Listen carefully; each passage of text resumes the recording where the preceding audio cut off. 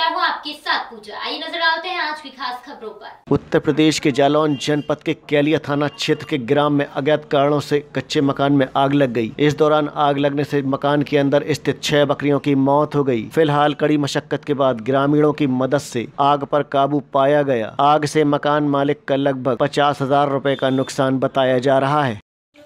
क्या नाम है आपका? रविंद्र कुमार। कहाँ के रहने वाले हो? ग्राम पहाड़ा क्या घटना हुई थी? आग लग गई थी मकान में आग कैसे लग गई थी? कोई पता नहीं पता साहब कब लग गई। कितने बजे घटना है? दस बजे। क्या नुकसान हुआ?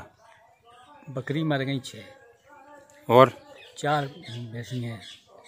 भूंज गई वे लगभग कितने का नुकसान हो गया? सत्तर हज़ार का हो लगभग।